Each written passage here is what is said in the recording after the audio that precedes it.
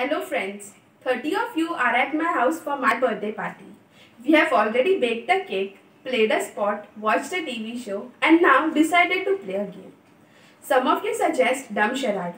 Some shout musical chair. Many of you scream passing the parcel. And some excitedly says treasure hunt. But now what to do? We can play only one game.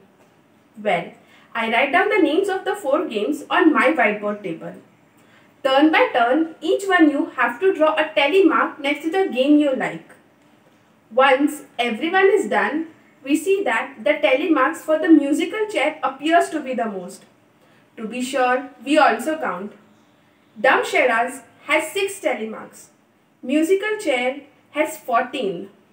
Passing the parcel has 2 and treasure hunt has 8. Finally, we play on the party music and start our musical chair. The game and the tally mark on my whiteboard table is what we call data, my dear friend.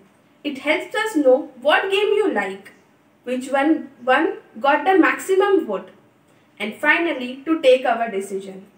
To learn more about collecting, understanding, and displaying data, let's meet in my NCERT based course for the age group of 6 to 8.